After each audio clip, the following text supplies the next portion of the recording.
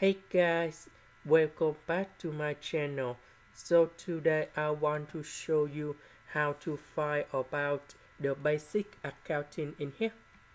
We know that the first formula of the accounting that is about assets equals to liabilities plus equity. So that means we have this one plus this one we got 250,000 on the left. Now we have the second one. We have the assets that is this one. And equity. That is this one. So we want to find liability. So we put assets minus equity. So because we put this one go to the left. And this one we got the final answer that is about 318,000 the next one we have liabilities and equity. Now we want to find assets so we just sum two numbers in here and we got the final answer.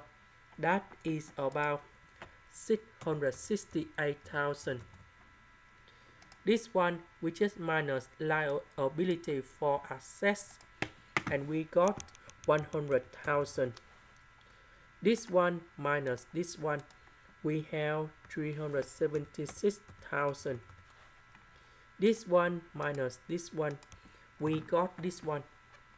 And that is about 9001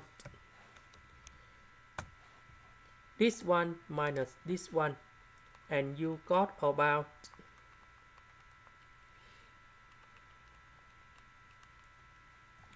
692,864.25. The next one, we have 66% of the assets. That means we have 68,000 multiplied by 66%.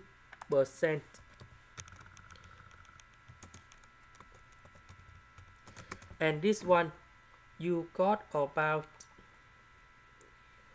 for 44,880 and now we can find liabilities. So we use this one minus this one. And we got the final answer. That is 223,120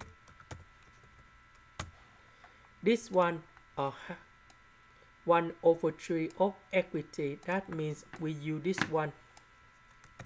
We multiply by 1 over 3 and we got the final answer.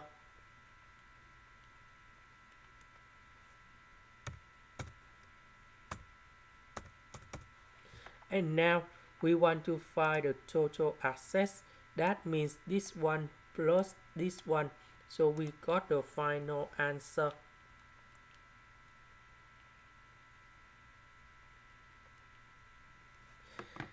191,504 so the last one we have this one multiplied by this one in here. So you got the final answer.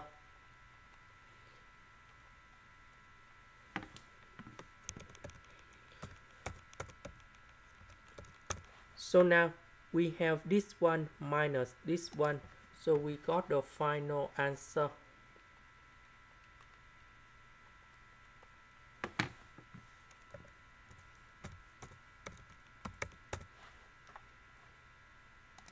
This is the end. Thank you for watching.